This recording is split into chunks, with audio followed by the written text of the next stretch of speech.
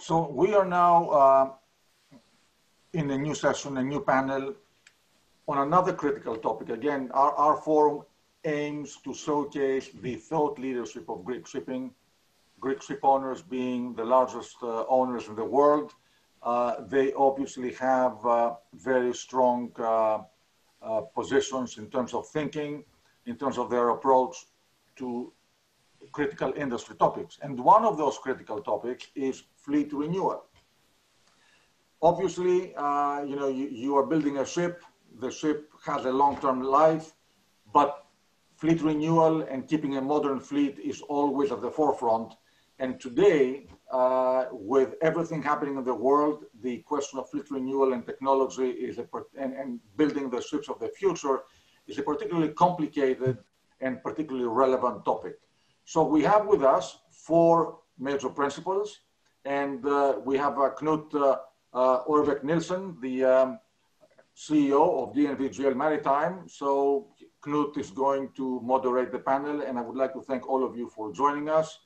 And Knut, I turn over the floor to you, and thank you to John, Philippos, uh, Tony, and uh, Alexander. Thank you very much, Nicholas. Welcome, ladies and gentlemen. My name is Knut Orbeck Nilssen. I'm the CEO of DNV GL Maritime, and I'm very happy to be your panel host here today. Um, a quick and firm thank you to you, Nicholas, for inviting me here today and for your tireless efforts in organizing these incredibly valuable events at Capital Link. Now, our panel, as Nicholas mentioned, will lend their collective expertise to the topic of fleet renewal, building the ships of the future. And uh, before we get started, allow me to introduce to you what I believe is a top class lineup of uh, speakers. So we have Mr. Philippos Phillis, the CEO of Lemissoler Navigation. He's also the vice president of the European Community Shipowners Association. Dr. John Coustas, uh, the CEO of Danaos Corporation, Mr. Tony Lauritzen, the CEO of Dynagas LNG Partners, and last but not least, Mr. Alexandros Panagopoulos, the founder and CEO of Forward Ships. So, dear panelists, uh, I'm really grateful that you can be with us and discussing this topic today. It is a shame that the pandemic still prevents us from meeting face to face, but I guess we are all by now getting quite used to meeting virtually. Uh, and I must say, it's great to have you here. Greece, as we all know, is steeped in a maritime tradition dating back thousands of years, and it is a strategically significant nation for trade nestled against the crossroads of the world with Europe, Asia, and Africa all within reach. Now, I would first like to begin by praising the Greek ship industry for its enduring pioneering spirit. I'm constantly amazed by the scale, the quality, and the innovativeness of the Greek fleet. I would also like to thank you for your tireless commitment to the cause of the seafarers, a cause very close to my heart. And given your prominent role in the world of shipping, your support continues to be critical for those still facing a very uncertain future. And so, without further delay, let us begin uh, with the panel uh, discussion. Now, in last week's Global Maritime Forum, some participants got a little bit ahead of themselves and um, provided some comments that advocated viewpoints that ran contrary to the interests of international shipping. And it is my view that regionalism, localism, and nationalism are all a real dead end when it comes to tackling global problems like the climate change. Now, with an average age of just 12.6 years, the Greek fleet is one of the youngest in the world. What steps have you taken with respect to your companies to ensure that your fleet is future-proofed against increasingly stringent environmental regulations? And to start off, I would like to go first to you, Philippos, and then uh, to John, please. Uh, thank you, Knut. um, the fleet renewal was a strategic move for some time now. It was clear that the new technical and environmental regulations coming into effect would allow only uh, the fittest to survive. Within our group, uh, it was uh, therefore imperative to utilize all internal resources and also to build around the necessary uh, capabilities to redesign and optimize the ships to be built. Of course, using the existing technologies available, but also to introduce some new innovative ideas to create more efficient uh, ships that will be able to withstand uh, the competition and also to satisfy the needs of the environmental regulations, plus, uh, our, of course, our charterers a, a very difficult and ambitious goal, though. Uh, as a group, we set from the beginning two main targets to be achieved. Uh, the first target was to analyze all equipment on board, going from main engine, going down to the smallest equipment that consumes energy, and even up to the cranes. The reason behind of this analysis was first to assess the way how to reduce energy consumption, and secondly, to make sure uh, that the selection of the proper and fit machinery will contribute towards uh, maintaining reduced OPEX in the long run, of course. Uh, the second target uh, was to optimize the propulsion, the hull, uh, study the wind resistance, as well as developing, uh, based on the existing uh, energy-saving devices, our, our own tailor-made fit for our hulls. Uh, to, achieve, to achieve those several, uh, several model tests have been performed to measure uh, the individual performance plus the combined and the, at the end. Uh, this exercise led to the substantial reduction of the EDI, uh, having achieved uh, this, the, the ships today uh, and recently our new builds recently receive a, a, significant premium on freight compared with the peer group. So the two targets uh, were to have as low as possible OPEX and to receive premium on the revenue, uh, which give us with this way a better uh, margin. All above uh, contributed actually to develop uh, a comprehensive ship design with the highest specs, uh, and and that at this moment has the lowest EDI of the entire peer group, uh, fulfilling even the phase three and belongs maybe to the 0.2% of the ships in the water at this moment that managed to reach uh, the phase three. nevertheless, the, the know-how and technologies available, available today are not sufficient to future-proof against increasingly uh, stringent uh, environmental regulations. We are on continuous research mode to improve even further the efficiency and uh, consequently to reduce the carbon footprint of our print. Uh, yet uh, the remaining margin, obviously, with existing technology becomes less and less. Uh, all mentioned so far are only technical measures. Uh, our group, though, invested uh, over this period heavily towards developing tools uh, that are made available to the commercial operation department, uh, also the technical department, offering the shore assistance of the crew to uh, specifically for optimizing uh, their routes and preventing eventual any, any damages. Uh, we have developed, for example, a real-time uh, performance monitoring system uh, with which the shore team could anytime intervene and guide the crew when the vessel underperforms uh, during sailing. And a second important tool uh, is the route optimization system, which uh, uses artificial intelligence and machine learning language to calculate every route uh, and every couple of hours renewing the calculation because of the weather, uh, the real-time weather, uh, to um, estimate the best possible route, uh, offering with this uh, a comprehensive advice to the captain on board, assisting practically in decision making, and in particular during adverse uh, weather conditions.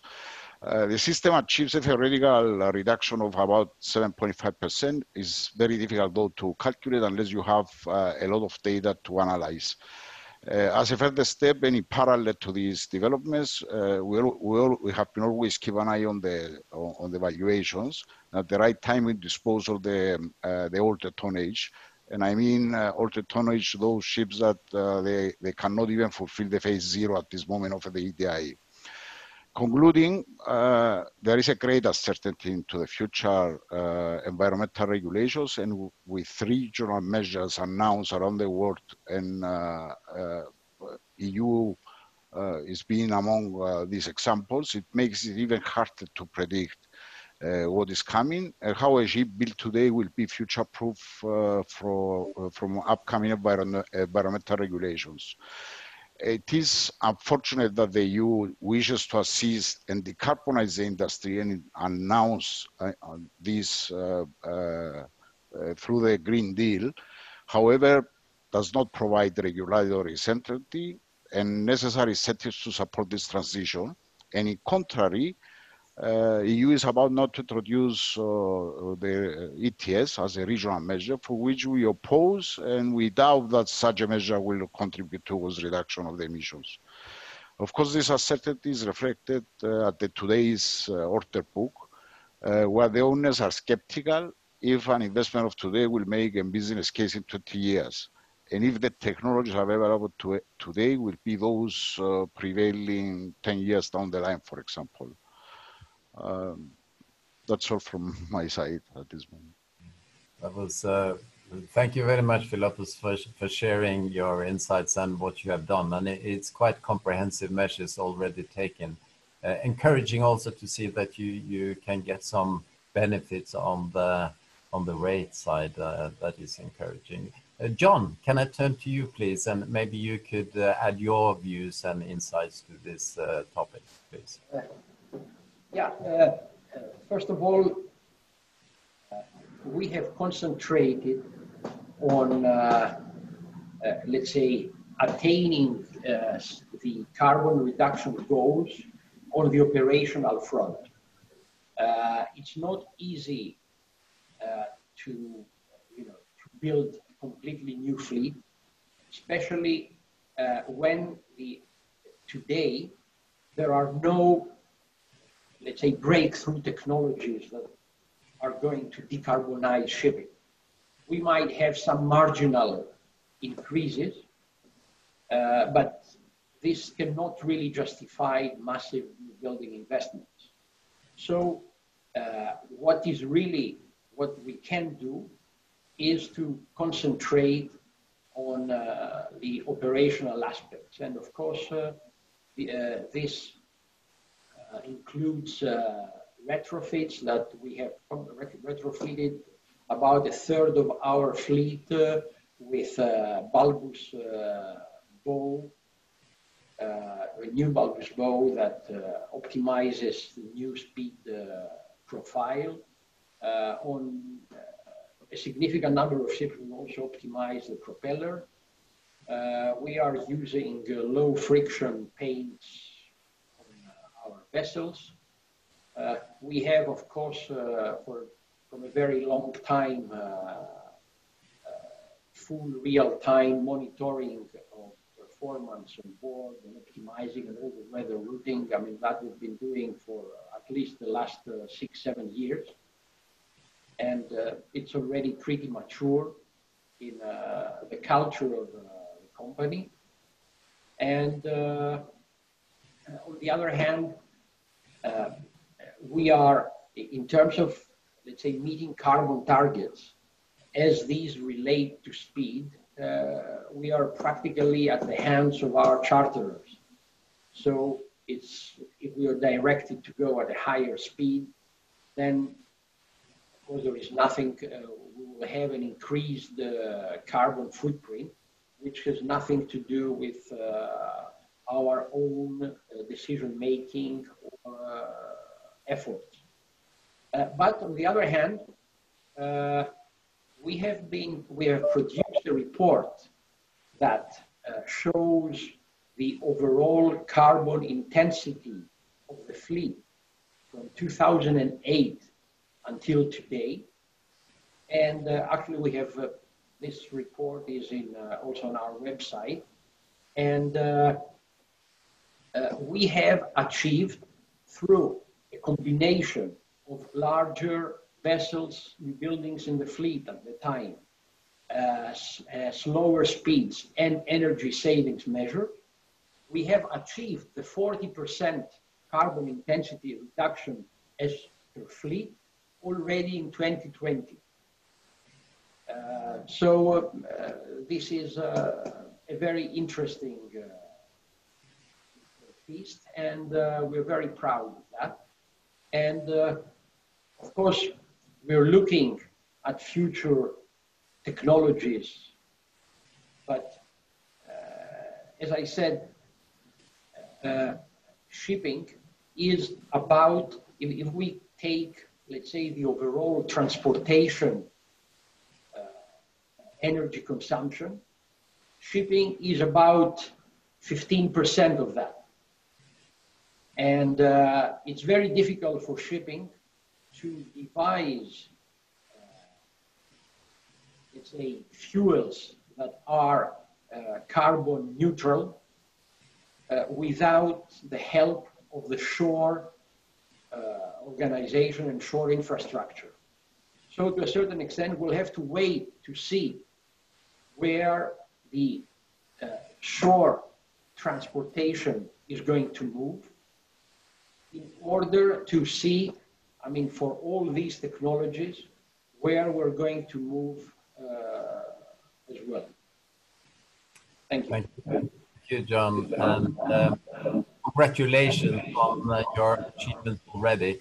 Um, so we heard that um, a lot uh, can be done on the existing fleet and uh, achievements have already uh, been made, which is very encouraging. Now, for the for the next uh, question, I would like to turn to first, Tony, and then to Alex. So, uh, turning then to the new building, so less uh, than one percent of the existing world fleet are running on uh, alternative fuels, and less than ten percent of the current new builds on order are with alternative fuel systems. Beyond the regulations, what incentives would encourage you to invest in greener ships and embrace uh, alternative fuels? And Tony, please, could we hear from you first, please? Absolutely, Knut, and uh, thank you for the question. Um, as a company, we have always been uh, self-motivated to invest in and embrace viable technology that is safe, and financially sustainable? Um, I think I'll answer the question a little bit broader. Um, uh, you know, from an, from an industrial point of view, the shipping sector has, you know, contributed uh, tremendously to uh, reducing emissions up to this point. Now, this, uh, you know, the incentive was largely financial uh, because less consumption means less cost, but it also means less emissions. Um, so that kind of went hand in hand. Um, now going forward, when we're talking about alternative fuels, um, um we're looking at the opposite of that. We're looking at a, a substantial cost increase, uh, cost which is uh, coming from uh, the propulsion, you know, the propulsion system itself, uh, from the uh, from the fuel handling system, uh, to uh, increased operating costs. You will need a different set of people to operate uh, these carriers. To uh, increase G&A because you'll have um, a different set of people in your organization ashore too. Um, and of course, there is, you know, there's training, there is the potential of reduced uptime, etc. Um, so, uh, so the question is, you know, going forward, you know, how, how is the industry and how we're going to deal with that? And I think that depends on the shipping sector that you're in to a large extent.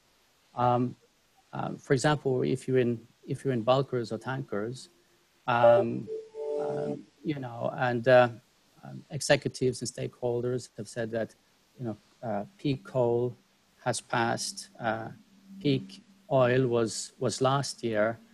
Um, and then when you look at the actual demand side, uh, which is, you know, the demand is, is, is originated by the charterers. They formulate the demand for the ship and the service that they want. So um, I don't think we can say that we've seen to a large extent that Uh, you know, big oil, for example, is, is chartering in and uh, seeking to charter in to a large extent uh, LNG propelled or LNG fueled, um, uh, uh, you know, tankers, you know, in the long term that will yield a reasonable uh, return on investment to the owners. Um, so, um, so then the question is, what then is the incentive? Is the incentive to kind of follow down the alternative fuel route, or is the alternative in the falling trade uh, simply to stay for now as we are? Um, uh, when there are uh, less cargo around, uh, there will be um, uh, you know more slow steaming, which which in turn will reduce emissions going forward to a large extent. Now, we do not believe as a company that oil has peaked, and we do believe that you know that um, there is a um, uh, uh, you know it's important with you know to investigate and embrace alternative fuels. We think that you know that will make a difference going forward, but we need the support uh, of the chartering community. Um, um now, um, you know some sectors are you know are in a different space and have a you know different outlook. For example, the container side, uh, which we're not involved in but that has a different set of end users, which keeps uh, you know different social responsibility profile, which are concerned with the transportation element. Um, and of course, for LNG shipping that we're in, we believe it has decades of growth uh, going forward because there is no other fuel at the moment um, that, that, that really can run in parallel with renewables and with alternative systems um, in a scalable way to make sure that industry you know, uh, you know, keeps on going uh, as, you know, uh, as it is. Um, so, um, yeah, I, I really believe that, you know, the incentive and the self-motivation to invest in alternative fuel, it really depends on which industry that you're in. Um, that being uh, said, um, uh, what I do find is that you know shipping is full of extremely qualified, capable people and given the chance, uh, you know, in a financially sustainable way, I'm sure that most ship owners would embrace uh, newer technology. Great insights, uh, Tony. And uh, with a little help from our friends, the charterers, we could also uh, accelerate this uh, process. Alex, uh, could you share your views, please? Sure. Thank you, Knut. so in, incentives and disincentives is what is uh, needed here, pull and push, essentially. So all the initiatives, as uh, Michael Parker said uh, in the uh, Global Maritime Forum, uh, IMO's 2050, Poseidon Principles, the Sea Cargo Charter, the EU's carbon trading scheme, all of these initiatives essentially create the demand for emissions data. And this emissions data is going to become, as he very correctly pointed out, a new currency by which investment worthiness will be measured. So each day that passes, the world demands more, and we all we are all witnessing it. And uh, with it, all the Gretas uh, out there are uh, coming out with more uh, banners uh, uh, pressuring everybody. Um, I don't know about all of you, but uh, in this COVID pause where uh, we're all stuck uh, where we are, I personally enjoyed the uh, quietness and the uh, crystal clear skies, uh, which were free of jet wash. And I feel that just by the force of evolution, we will see more regulations that eventually may turn this small 10% to become 90% in uh, where we are today, we're um, we're well down the road from the 2008 baseline, and uh, obviously there must be a, a, very pragmatic chronology, a timeline, to achieve a more sustainable, decarbonized future for shipping. The um, the global deep sea fleet, as we all know, consists of more than 60,000 vessels and uh, the average life expectancy is 25 years. So this fleet cannot be turned around overnight, obviously.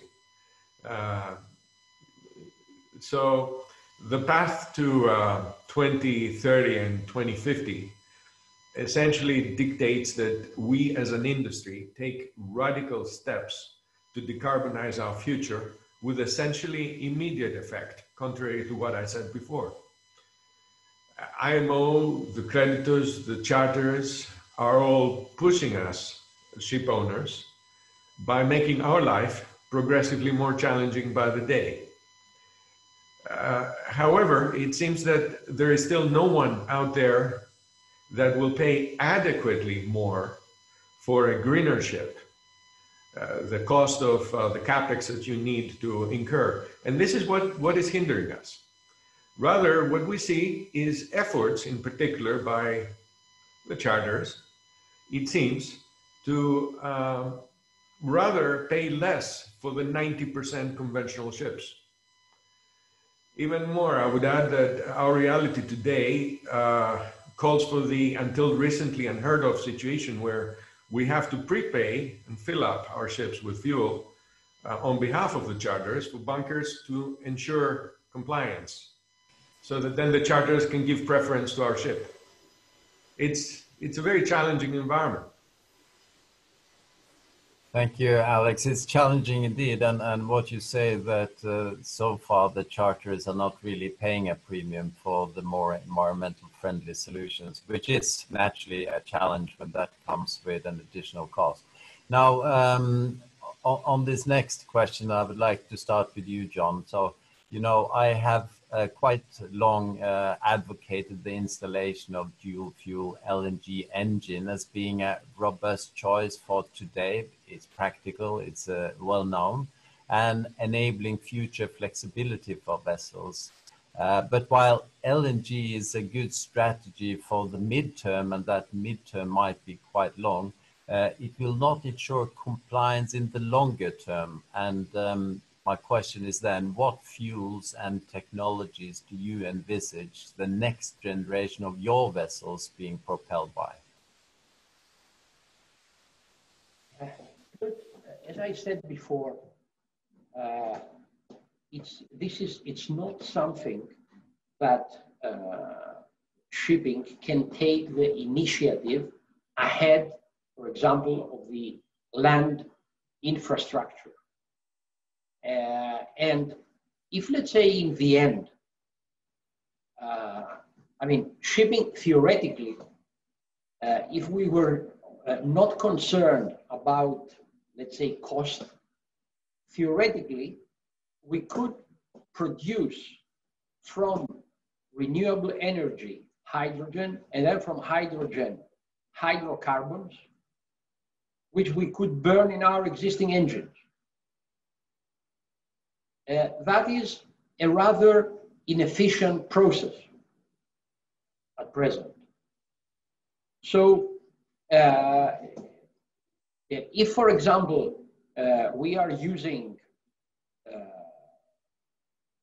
we find some, uh, let's say, other technologies in producing kind of uh,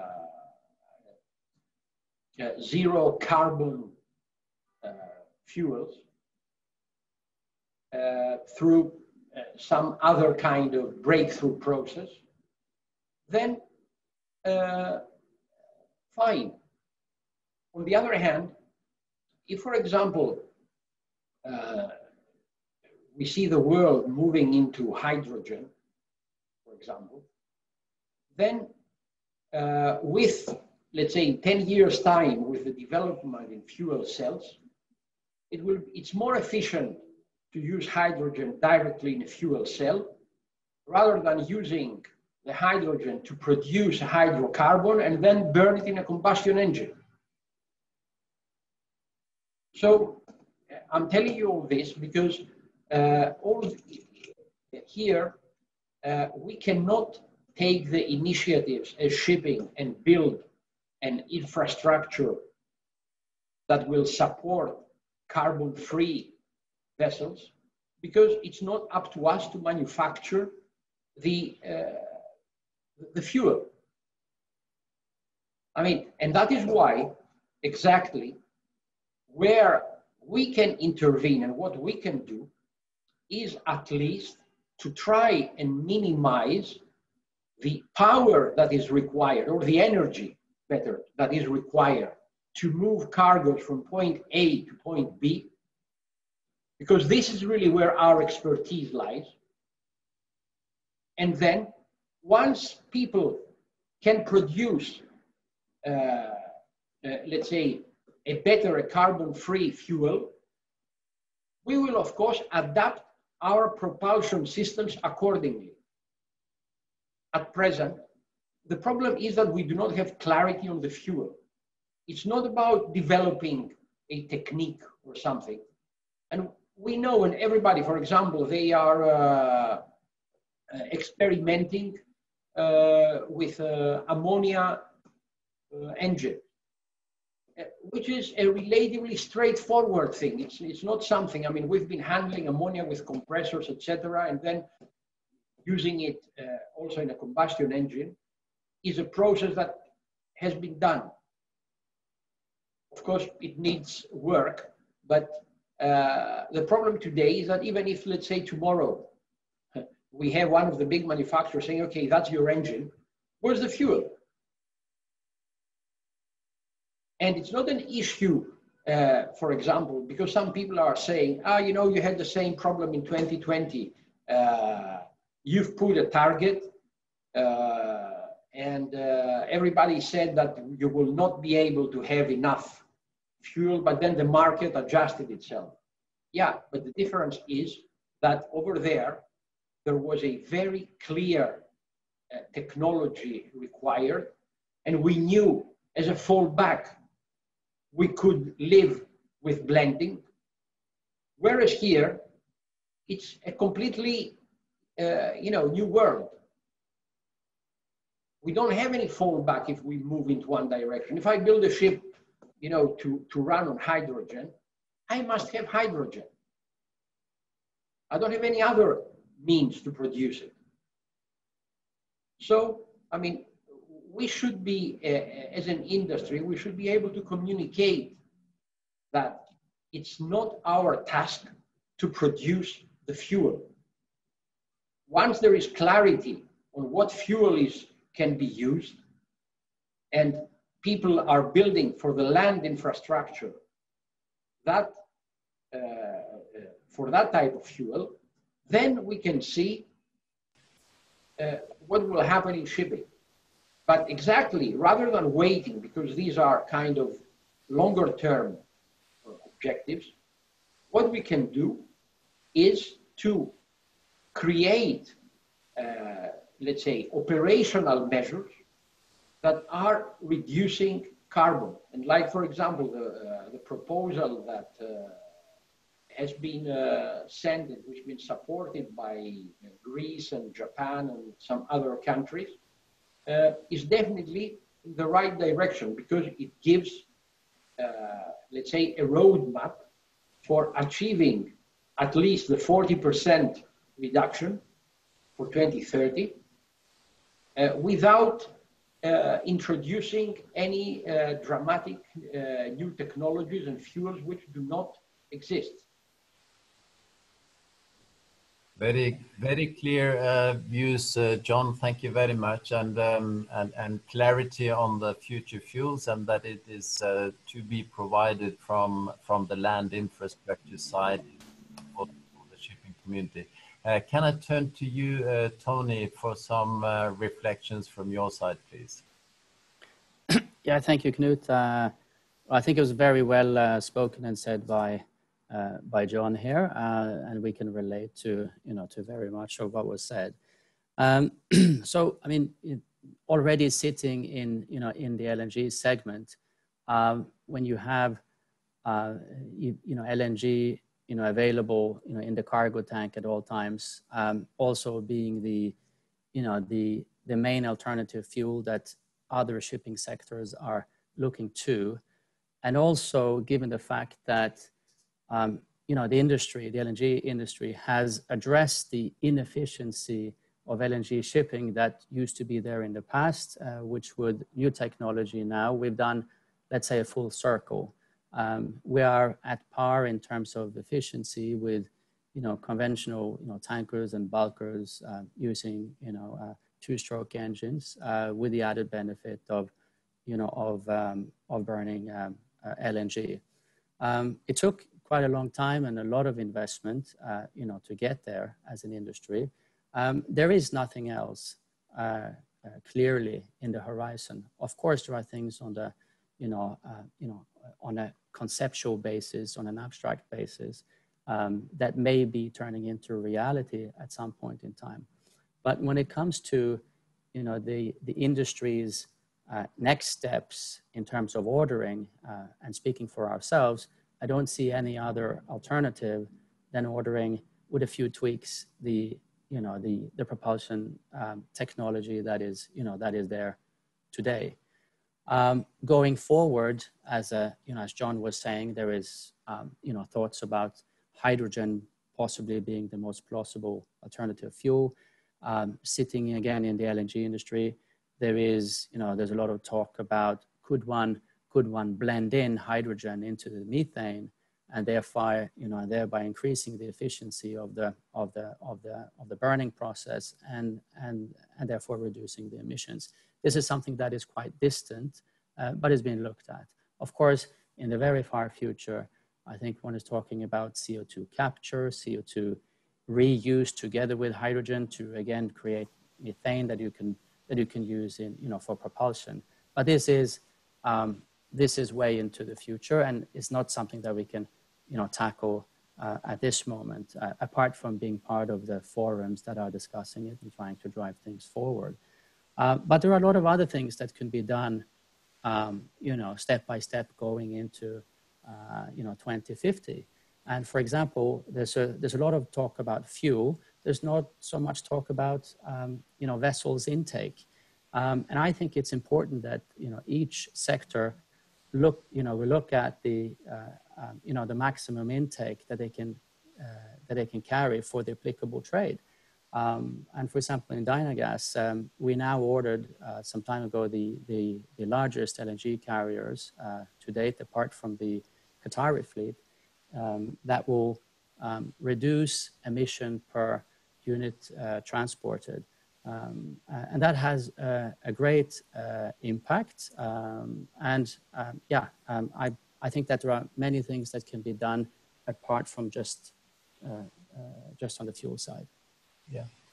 Thank you very much, Tony. I, I know that time is really running away uh, from us, but I would really like to have some quick reflections also from you, Alex, and, and Philippos, if, if you have some reflections on this topic as well, that would be great uh, as a sort of the, the final remarks before we have to close this uh, session. So, Alex, please.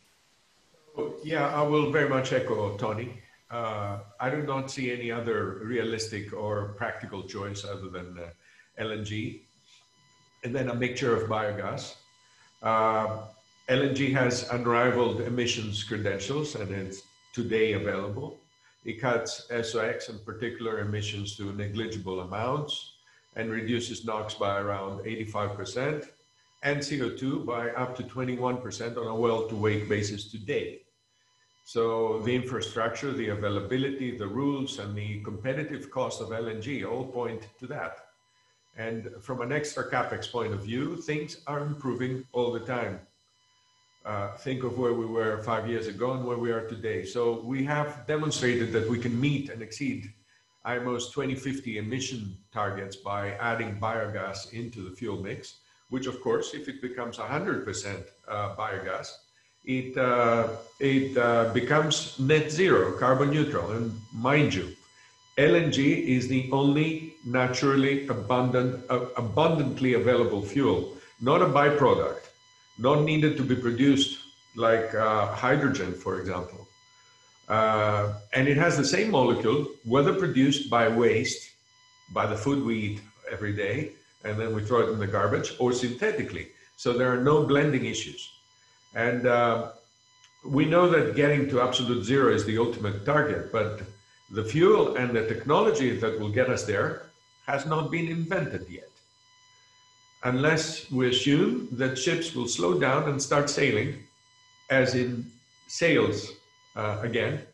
And some like Wallenius Marine have indeed sound arguments to propose just that. by the way, with the ocean, Oceanbird, the uh, pure car carrier. Great. Thank you, Alex. And uh, and Philippos, uh, we had more questions as always in these uh, discussions, but time is running fast. And any reflections on your side? Uh, yes. Uh, uh, what I can say is that I agree that the infrastructure is not there. And I agree that there will be very difficult to have a solution to towards a complete carbon neutral shipping. Uh, one example, uh, in extension to what John said before, for example, ammonia production for the consumption of four bulk carriers, four Panamaxes a year cost about a billion uh, dollar without taking into consideration uh, that the energy should be uh, also uh, from re renewable sources. So uh, on top of that is a calorific value. I think uh, the efficiency of uh, these alternative fuels so far maybe are 50% uh, uh, if you compare with the fossil fuels. Uh, very important uh, for me is that there will not be one solution to fit for everything. There will be regional ships driven by hydrogen because the infrastructure will be local uh, maybe some deep sea carriers with uh, with ammonia because they are liners and they have the infrastructure at both ends. And on top of that, uh, we we have to uh, think on other sources like uh, eventually the development of batteries with better density and um, cheaper cost where this will be a solution for again maybe regional operation or coastal operation uh, I think uh, most important is that I don't see in the near future any solution to fit for every purpose. Thank you, Philippos, and, and maybe that's a, a good line uh, to end at, that there's no, not one solution that will fit for everything. Now, gentlemen, I would like to thank you very much for your contributions here today and uh, your expertise and insights are very much appreciated and I wish you every success in these challenging times. And uh, for sure I look forward to meeting you again soon and continuing the conversation. And um, I would wish your, you and your families good health. And uh, I would like to hand it uh, back to you, Nicolas, and thank you again for having us on, on Capital Link. Well, all I want to say is a tremendous thank you. Dynamite discussion, great panel, terrific moderator, but above all, great content. Really, thank you so much. And I think uh, the number of attendees supports what I have said. It's been a, a terrific panel, greatly popular. So thank you very much. Thank, thank you, Nicolas. Thank, thank you, Knut. Thank, thank you all. Thank you. Thank you.